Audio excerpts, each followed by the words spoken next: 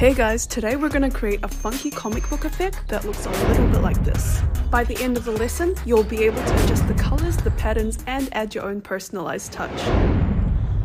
Start by opening up Meta Spark Studio and creating a sharing effect. Add a rectangle to your scene which will automatically create a canvas for you. A canvas is an object that allows you to work in 2D space. Resize the rectangle to make it fill the screen by selecting Fill Width and Fill Height on the properties. And when that's ready, you can start building the function of the lens through the patch editor.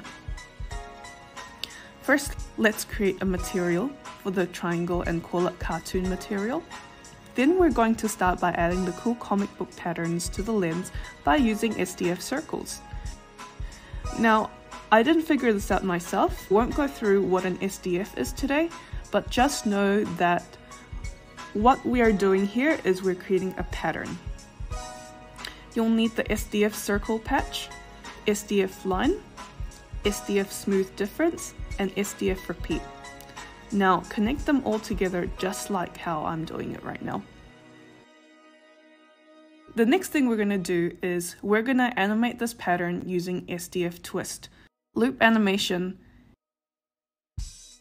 and the To Range patch. Connect the patches up like this and don't forget to check mirrored on loop animation.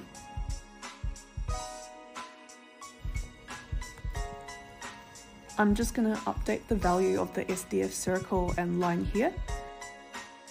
Connect the step patch and the mix patch Next we're going to pull out the camera texture so we can use our pattern on it. Do this by going to the camera, select texture extraction, then pulling out the camera texture from the texture assets. Now that we have the camera texture, we can apply the pattern that we just created onto it by multiplying the two. Oh, and also change the mix patch to color. I've selected the pink color as the second color, just for fun.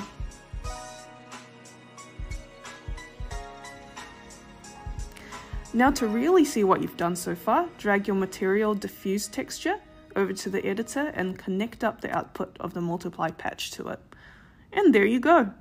Now you can see the color of your camera feed has changed, but no pattern is showing up yet, so no worries, let's worry about that later.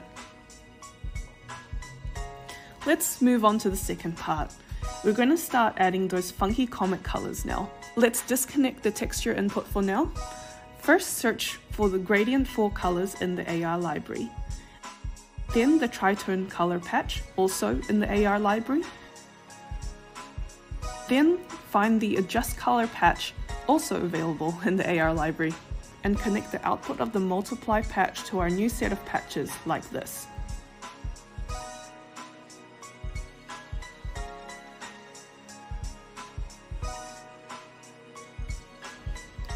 And then plug it back in and ta-da! It's a good start so far. Now that the whole thing is set up, let's go back and adjust the values so that our comic pattern is showing up. You can play around with the values to get an understanding how each patch contributes to the overall result, but these are the values that I've chosen to give me this particular result.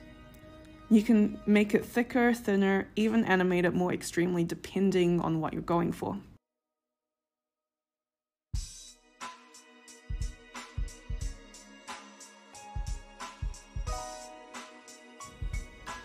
Then I'm going to finish up by adjusting the colors. I've decided to connect the gradient to the midtones, but you can plug it in anywhere you want depending on what you had in mind. This is the most fun part for me personally, so I took my time on it and tested it on several different scenes just to make sure the colors work on anything. I'm speeding up the video here since I think you get the point already.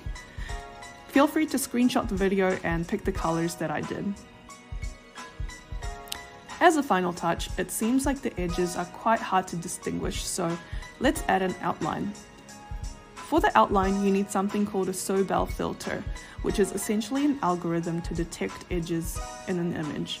Luckily, someone has created this patch already, so you just need to find it in the Meta Spark library.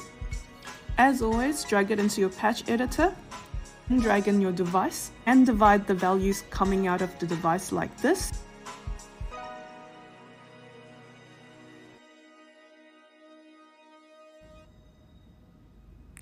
And of course, we need to apply this to the camera texture. So swizzle the Sobel filter output and make sure you type an X since it's the only value that we want. Use the output as the alpha on the mix patch and connect the output of the Just Colors shader to the first input of the mix patch. And of course, connect the output of that to the texture input. Much better. Now, if you want to change the colors of the outline, change the mix patch type to color and adjust the second input color. I've chosen purple for now. So just to recap, first you need to create the pattern using SDF circles, then we manipulated the tones of the camera input, and lastly we created an outline using a Sobel filter and mixed it up with the output of the last two. And that's it guys, hope to see you all next time.